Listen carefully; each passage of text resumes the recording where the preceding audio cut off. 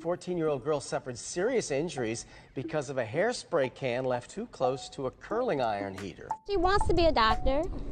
Yeah, she have her, whole life ahead of her. Latina Johnson's beautiful 14-year-old daughter, Tanajah Brown, wants to be a doctor, but right now, a team of doctors is working to help the teen inside Children's Hospital. Tanajah has lost sight in one eye. Her eye socket is shattered. Her nose is broken. Muscle and bone inside her mouth are fractured. It happened Saturday afternoon as Tanajah was having her hair done. A can of hairspray left too close to a curling iron heater exploded right into her face.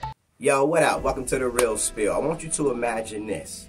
You send your 14-year-old daughter out to get her hair done, okay? She got church tomorrow, and you send her to a hair salon who you think is credible. And she's getting her hair done, and the hairstylist accidentally leaves a can of hairspray next to a curling iron heater and the hairspray gets really really hot and boom blows up in your 14 year old face causing her to lose her eyesight break her nose shatter her jaw and severe burns this happened to Tanajah Brown, okay, out of Detroit, Michigan. Tanajah is 14 years old and right now she is recovering from an accident due to her hairstylist leaving a can of fucking hairspray next to a a heater okay it exploded in his child's eyes face, nose, and left this girl in the hospital. Her mother is very upset about it, as she should be. And when I got to Sinai Grace, they had my daughter in the trauma center, and I just bust out in tears. She tells me, I don't have insurance, I don't own the shop, I'm leasing the shop.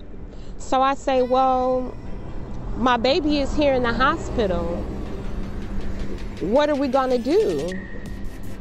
And that was a spirit.